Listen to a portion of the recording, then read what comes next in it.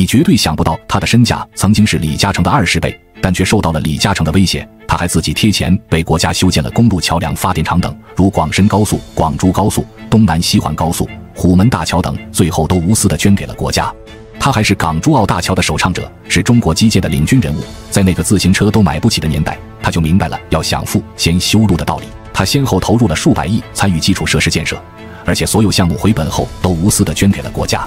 尤其是虎门大桥，这是我国自己设计建造的第一座特大型悬索桥，每天有三百万的过路费，一年就有十多亿元的收入。可是项目回本后，他也毫不犹豫地捐给了国家。因为为人过于低调，很少有人知道他的名字。但他的贡献值得每个国人记住，他就是胡英湘。那他为何会受到李嘉诚的威胁呢？有人说是因为他提议建设的港珠澳大桥动了李嘉诚的利益，事实果真如此吗？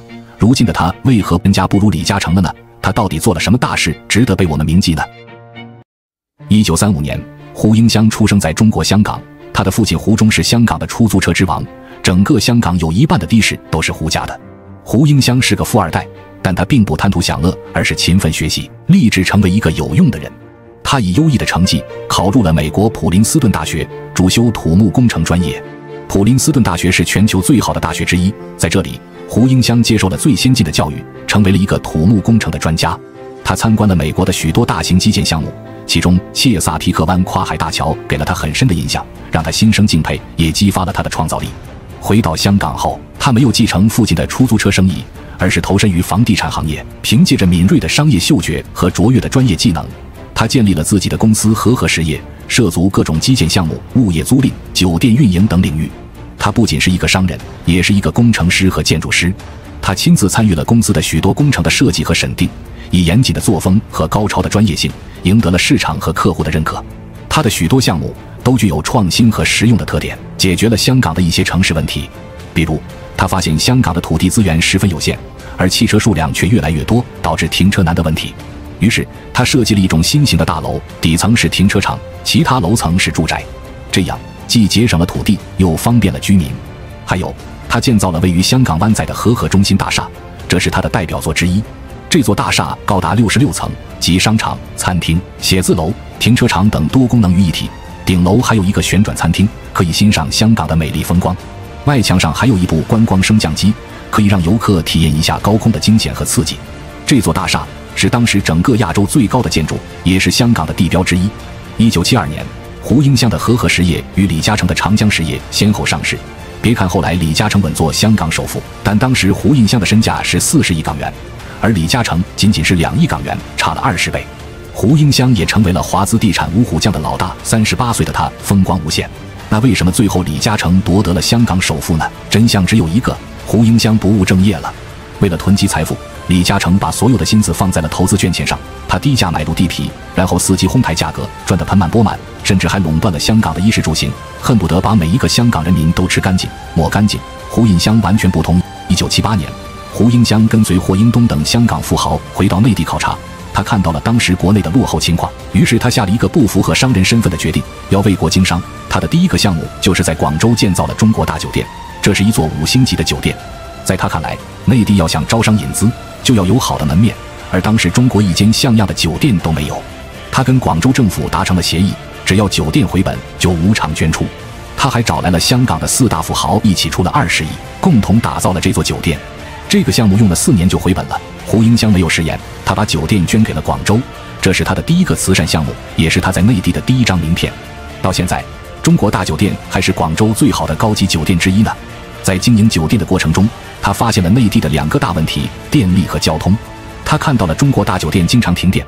他觉得这是不可思议的，他决定要解决这个问题，就在东莞沙角建了两座电厂，沙角 A 和沙角 B 这两座电厂都是他亲自设计的。沙角 B 电厂甚至在不到一年的时间就建成了，这在当时是一个奇迹。这两座电厂为广东提供了大量的电力，有时候占了广东电力的四分之一。胡英湘也跟政府约定，电厂回本后就捐出了。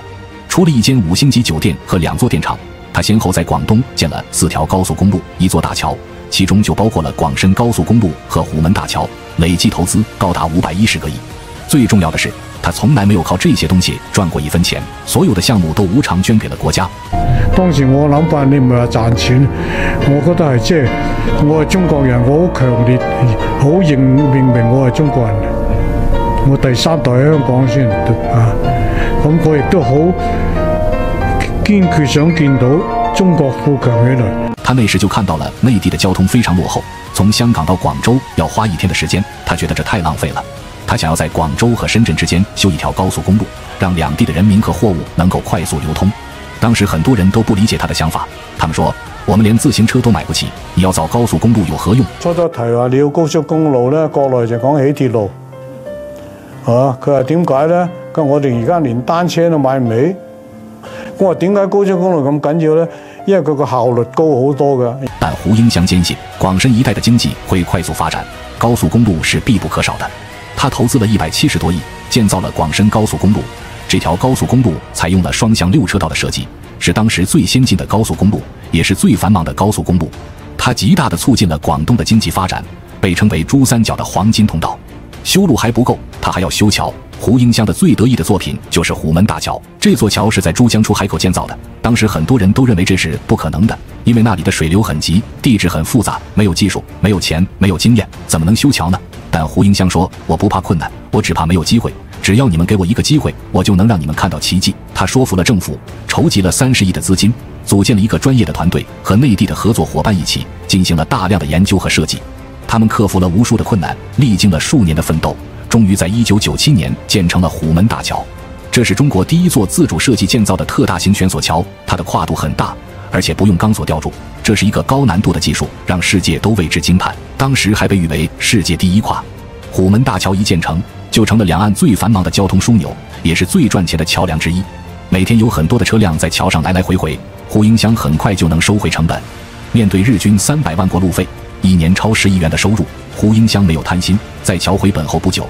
他就召开了新闻发布会，宣布把桥捐出，让它成为两岸的共同财富和荣耀。他说：“我希望这座大桥能够为两岸带来更多的利益和福祉，也希望有关部门能够好好的管理和维护这座大桥，让它永远的服务于两岸。”此外，他还做了很多其他的基建项目，比如深圳的罗湖和黃港口岸、广珠高速公路、广州的东南西环高速公路、順德的路桥系统工程等等，为国家做出了巨大的貢獻。誒，即係呢个人嘅经脉嚟嘅，等於交通。你如果打唔通個經脈咧，所有咩经济建設係呃你。他还引进了 BOT 模式，这是一种让国家省钱又省力的模式，就是投资者出钱出力出技术建造一些基建项目，然后在一定的时间内收取一些费用，等到项目回本后，就把项目交给国家，国家就可以无偿的拥有这些项目。说到这，就不得不提大家都熟悉的港珠澳大桥了。但你知道嗎？港珠澳大桥是胡英湘最先提出来的。胡英湘是个有远见的人。他早在一九八三年就想把香港、珠海和澳门用一座大桥连起来，让三地的人民能够方便的互通有无，共同发展。只是当他提出要建港珠澳大桥的时候，李嘉诚却公开威胁他，因为李嘉诚控制着香港大部分的码头，一旦大桥建成，将会对他的生意造成巨大影响。但是胡英湘并没有放弃，他一直在收集有关大桥的资料，他一直在坚持自己的梦想，并一直在向世人宣告，就算大桥要一百年才能收回成本，我也要造。终于，他的坚持有了回报。一九九七年，香港回到了祖国的怀抱。第二年，中国国务院正式批准了伶仃洋跨海大桥的工程项目，认为这个项目对国家的政治和经济都有重大的意义，要尽快开始建设。经过多年的研究、论证和筹备，这个项目最后定名为港珠澳大桥。二零零九年，这个被称为世纪工程的大桥正式动工。历经九年的艰苦奋斗，克服了无数的困难和挑战。二零一八年十月。港珠澳大桥终于正式通车。这一天，胡英湘等了三十五年，而这个时候，胡老爷子已经八十三岁了。英国媒体曾评论到，和合公司是世界上最大、最纯粹以中国为投资对象的私营公司。胡英湘把他的一生都投资给了祖国，如今他身价十八亿美元，远远没有他这些年投资给内地的多。胡英湘和李嘉诚都是一代商业奇才，但是人们对他们的看法却截然不同。李嘉诚是个地产大鳄。他在内地买了一大片的土地，却不肯开发，就像一个守财奴，等着土地涨价，然后再高价卖出，从中赚取暴利。他的做法虽然没有违反规则，但是却没有给人民带来任何好处，也没有为国家做出任何贡献。胡英湘就不一样，他是个有理想的人，他想造一座大桥，把香港、珠海和澳门连在一起，让三地的人民能够互相交流，共同发展。他的做法正是社会大众所期待的，是一种正能量的体现，也是一种爱国的表现。